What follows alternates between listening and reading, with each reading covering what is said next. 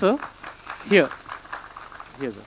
Uh, so, sir, this film is a remake of uh, Tamil film Kaidi. Uh, whether you had any opportunity to uh, interact with director Lokesh on changes uh, should be made or No, not that- really. But uh, uh, through people, we've been uh, uh, in touch, and uh, we are discussing a few things for the future also. Thank you.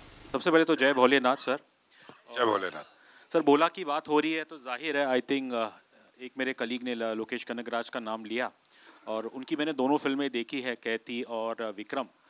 तो जो मेरा एक अनुभव एक बतौर दर्शक ना कि सिर्फ़ जर्नलिस्ट वो ये रहा है कि ये दोनों फ़िल्म एक्शन है जो मेरा एक पर्सनल फेवरेट जॉनर है। बट इन दिनों दोनों फ़िल्मों की जो आई थिंक खूबियत है और जो शायद भोला में भी रहेगी कि कैसे जो उसकी प्राइम कहानी है वो एक फैमिली स्टोरी है जैसे इसके अंदर एक बाप Basically, बेटी की मैं पहले भी कहना चाहता था कि जब हम जब आप ट्रेलर देखते हैं तो हम ज़्यादा कहानी खोल नहीं सकते। तो इसलिए आपको एक्शन ज़्यादा नज़र आ रहा है। फ़िल्म में एक्शन बहुत है लेकिन जो एक्शन कोई भी एक्शन कोई भी एक्शन बिना किसी इमोशन के वर्क नहीं कर सकता। तो the main concentration of the film is emotion और जो कहानी है।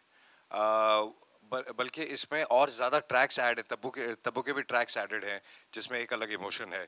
सो हमेशा जब आप एक कहानी सोचते हैं तो उसका इमोशन पहले सोचते हैं। अगर आपके पीछे एक इमोशन हो आप किसी को मारे हैं तो लोग लो, लोगों को मज़ा आता है वो सीटी ताली मारेंगे। अगर बिला वजह आप किसी को मारेंगे तो आई थिंक किसी का कोई रिएक्शन नहीं आ, आएगा चाहे वो कितना भी अच्छा एक्शन हो। तो सबसे ज़रूरी चीज़ होती है कि आपका इमोशन सही है कि नहीं और आपका आपका दिल अपनी सही जगह पे है कि और मेरे ख्याल से यही इमोशन जो है मतलब जो ना सिर्फ़ mass audience but family audience को भी आकर्षित करेगा इसी film I think I think there is no difference between mass and family audience where emotions are concerned. Emotion एक यूनिवर्सल इमोशन होता है चाहे वो हिंदुस्तानी हो चाहे वो अंग्रेज़ी हो चाहे दुनिया का कोई भी कोना हो इमोशन हमेशा सेम ही होता है। एक बाप का बेटे के लिए बेटी के लिए इमोशन एक बाप माँ बाप का फैमिली के लिए इमोशन बच्चों का अपने पेरेंट्स के लिए इमोशन जो भी इमोशन आप ले लें वो सब एक ही होते हैं यूनिवर्सल है।